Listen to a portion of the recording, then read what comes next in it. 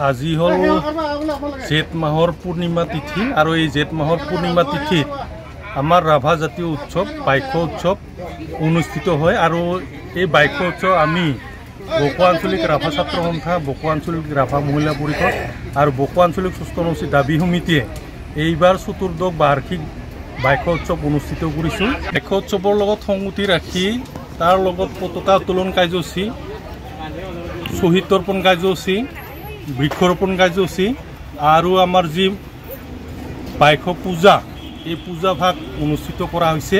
আৰু এই পূজা ভাগ অনুষ্ঠিত কৰাৰ এটাই মূল উদ্দেশ্য যাতে এই আমাৰ যি বাইশ উৎসৱ এইটো হৈছে কৃষিভিত্তিক উৎসৱ যাতে আমাৰ কৃষি কৰ্মক আমি সুচাৰুৰূপে কৰিব পাৰোঁ। আমাৰ শস্য যাতে নদন বদন হৈ আমাৰ পথাৰত আমি উপচাব পাৰোঁ বা উৎপাদন কৰিব পাৰোঁ।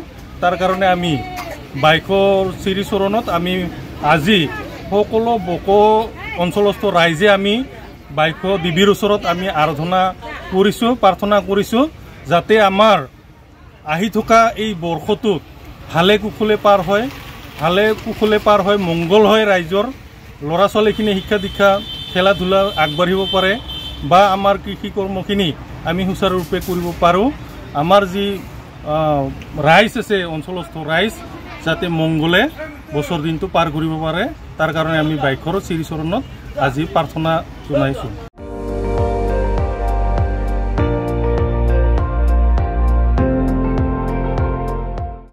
আপুনি চাই আছে এন ডি টুৱেণ্টি ফ'ৰ সৰ্বশ্ৰেষ্ঠ নহয় সৰ্বোত্তমৰ দৌৰা